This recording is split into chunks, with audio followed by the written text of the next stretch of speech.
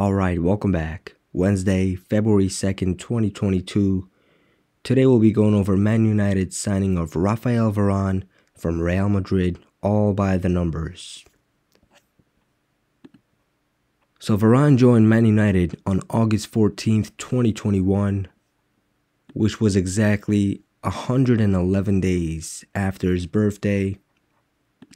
And the full name of the club, Manchester United Football Club, sums to 111.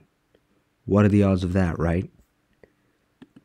After making 41 appearances last season for Real Madrid, for 41 million pounds, he joins Manchester United, 179, the 41st prime.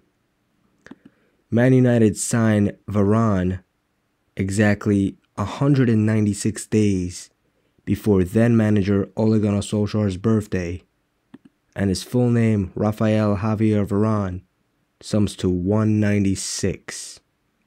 So there you have it. Another scripted transfer in the world of football.